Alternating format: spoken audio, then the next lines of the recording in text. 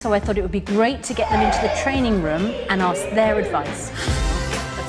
They were full of enthusiasm, hugely supportive, and lots of great advice. I think maybe your steps could be a bit better. You need to give it a bit more oomph. I think